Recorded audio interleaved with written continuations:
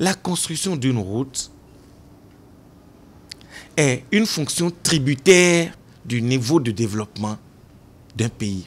Parce qu'il s'agit trop souvent et très souvent d'investissements financiers lourds.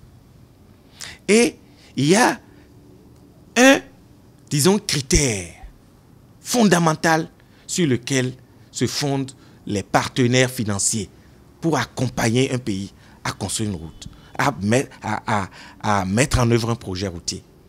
C'est le taux de rentabilité.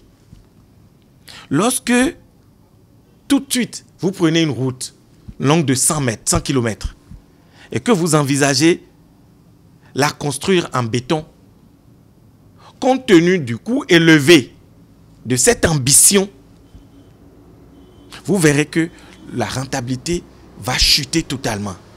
Parce que, à comparer les avantages de la route au niveau d'investissement, c'est fortement déséquilibré. C'est-à-dire les avantages ne permettent pas d'atteindre ce niveau d'investissement. Donc, c'est une solution optimale. Ce que les routes que nous construisons aujourd'hui, les structures résultent d'une solution optimale qui fait le juste milieu entre le niveau d'investissement supportable par le pays et la durabilité de la route.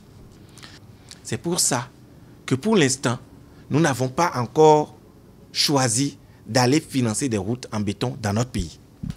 Cela dit, c'est également une ambition du chef de l'État. Je voudrais que le ministre me permette de, de le dévoiler. Parce que le chef de l'État a voulu que la marina, la route qui passe devant le ministère ici,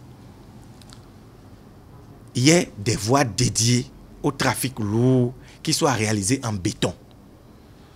Donc s'il y a des nostalgiques de routes en béton dans notre pays, ils seront bientôt satisfaits. Nous allons faire l'expérience de faire ces quelques 5 km là en béton. Ça va coûter cher, mais ça va rester longtemps. Puisque le trafic portuaire, vous le savez, est essentiellement constitué de poids lourds. Et là encore, quand on fait le ratio de ce qu'on gagne à pouvoir supporter ce trafic lourd-là et à réaliser donc la route en béton, on verra que on aurait fait un choix, disons, rentable.